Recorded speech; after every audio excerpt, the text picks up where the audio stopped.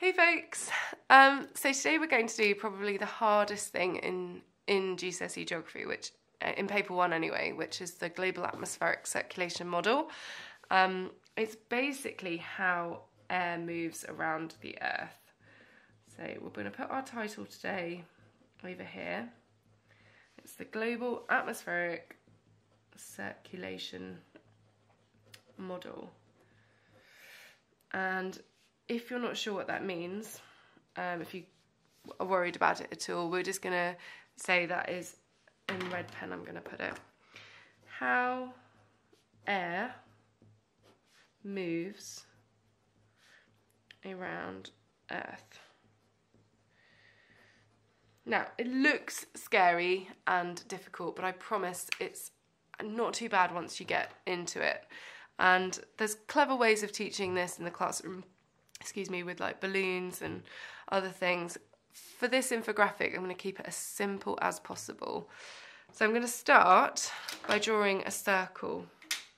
And I'm going to totally freehand this because you're doing that as well. And I think it's fair to be doing the same thing. So it's not going to be a perfect circle, but just draw a circle. and then that's obviously going to be our Earth.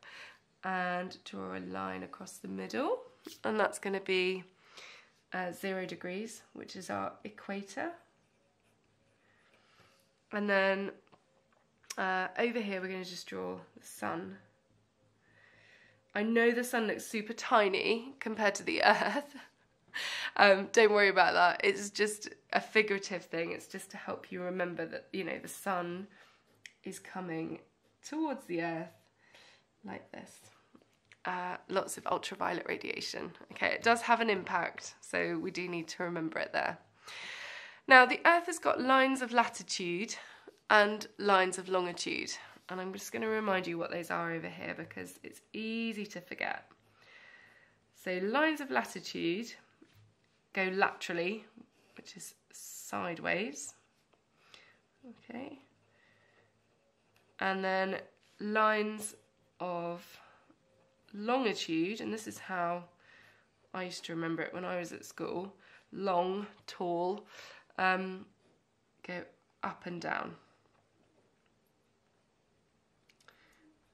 Those of you that are my students know I've got this on the door of the classroom, so it's nice and easy to remember.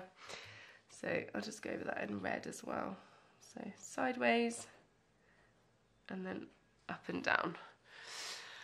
Okay, we're going to add just some lines of latitude. So if you watch me first and then you do your own, we've basically, we're at zero degrees for the equator.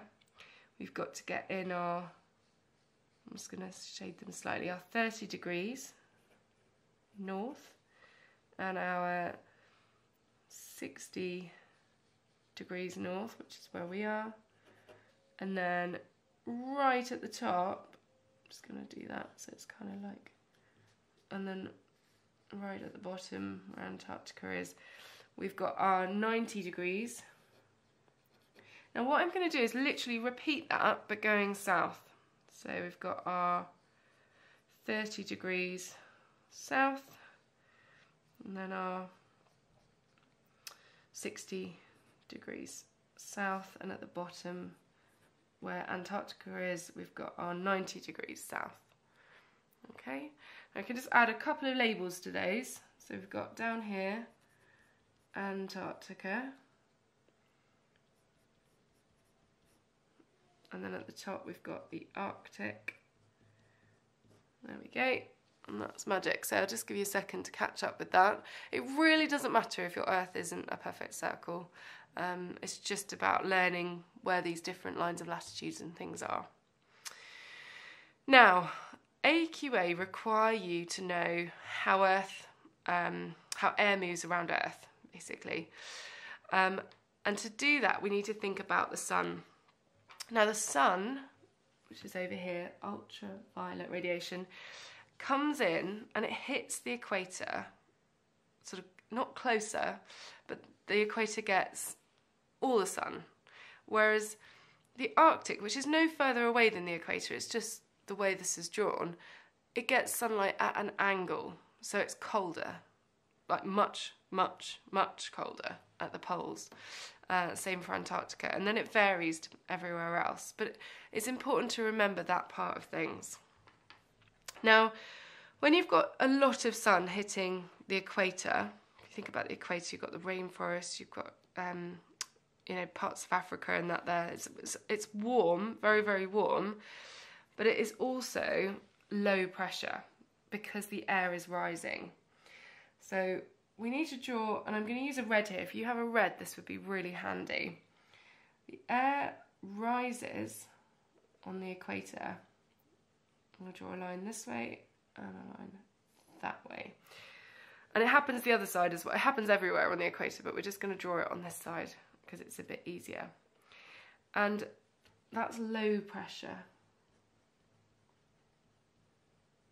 Okay, and that's low pressure as well which means rising air. Okay?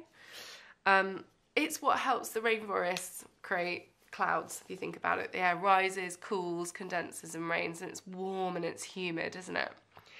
As that air goes up into the atmosphere, just draw a couple more arrows, it cools down and it basically swings around and falls back down as kind of colder air. So I'm to do that. Not, not super cold, but just slightly colder. And the main thing is that it is high pressure. So when air is falling, we call that high pressure. And that's measured with a barometer. And if you won't remember that, just put it in brackets. That's sinking air. Okay? Sinking. Now, those two sections that we've just drawn there have got names and they've got the same name which makes life quite easy actually um, and they are called the Hadley cells that's a cell there so Hadley cell and Hadley cell. And they are either side of the equator. And hopefully just looking at the colours of the lines there and, and what's happening with the air rising and falling or low pressure and then high pressure that helps you understand um, what's going on in those two cells. Now we've got to add our next uh, two cells and then the final two. So we've got four more to go but actually only two different names so if we take our area here where the the, the air is sinking down around 30 degrees, around where the sort of deserts are. Now, what happens there is the air moves, this is into the Ferrel cell now, and it starts off cooler, and I'm going to just change pen because it warms up slightly, there we go. And it comes around a bit warmer and then joins up, cools down and joins up again with that sinking air. Can you see the cycle being formed there? Now this is uh, known as the Ferrel cell. I'm going to write his name in a different colour so it's a bit clearer. And apparently the person who discovered them, and it's a Ferrel cell on this side as well, uh, was named William Ferrel, not the Will Ferrell, but um, yeah, William Ferrel. So let me change pen again. We've got our slightly warmer air coming in this way. It's exactly the same. It's just a mirror image, basically. And we've got our air coming up this way and along that way. And that is known as the Ferrel cell. Helps you to remember Will Ferrell, then all the better. Right. Now, 60 degrees north, that's remember where the UK is around there, and we've got from there to the Arctic, and we've got 60 degrees south to Antarctica. And luckily, again, the same sorts of things are happening. Uh, they're mirrored on both. So to start with, we've got this warm air rising, and we've got quite warmer air coming down this way. And if I just do the two at the same time, it's easier. So it's, remember, a mirror image. And then cooler going this way and then sinking. and then cooler and sinking. Just realised that should be red. There we go. Okay, now these ones, they're not bigger, it's just the way, they're not, in reality they're not bigger, it's just the way the diagram looks because it's not 3D. Um, these are called, quite easily to remember, the polar cells. There's a polar cell down here as well. Okay. Um, and these are, these cause a lot, so you've got the air falling, so you've got high pressure and sinking air, which if you think about it, is very similar to what we see happening in the polar regions. So high pressure, that's sinking air, um, giving sort of weather conditions that can be, you know, can be stormy there by all means, but often with high pressure we tend to see lighter winds um, and very cold conditions. And that's true of these regions. Now we're going to add um, some wind to this now, which is going to, I'm almost loath to do it, but you do need to know a little bit about how the wind moves around the Earth. So up in the poles we have something called the polar easterlies. Now if you're not familiar with your compass points, don't worry, because we'll just add one in over here quickly.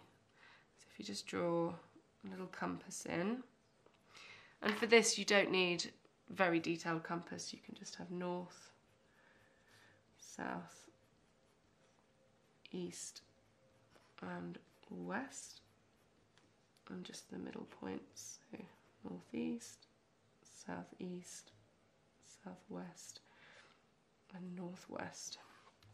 Okay, that'll just help you when we're talking about the winds that are occurring. Um, now, in the Arctic, these polar easterlies move in this direction. And I'm just drawing on, these are like kind of like trade winds that occur on the planet all the time.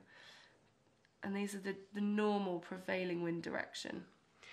If you're a sailor or if you windsurf or spend time on the water, you might know that in our area, we get our prevailing wind direction is from the southwest.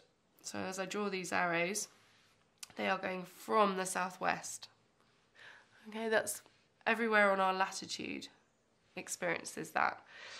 Now, between the equator and 30 degrees north, they have something called the trade winds, okay, which go in this direction. Okay, I'm just going to add a little arrow in there. And the trade winds just the other side of the equator in the southern hemisphere. They're almost like a mirror image, but they just go slightly different. There we go. And then the westerlies, which we experience, um, are more sort of from the northwest in this Ferrel cell. Okay, I'll just add one more in. So there you go. That is how air moves around Earth. That is the global atmospheric circulation model. Um, and it's useful not just on its own in the spec, but also when we think about um, weather patterns, extreme weather in the UK, um, and, and just like how how things occur. Even if there was, for example, a volcano erupting in one part of the earth, um, these trade winds would move the ash to us from one place to another. So it's useful to remember. In fact, just write trade winds onto your diagram. So there you go. Hope that's helpful.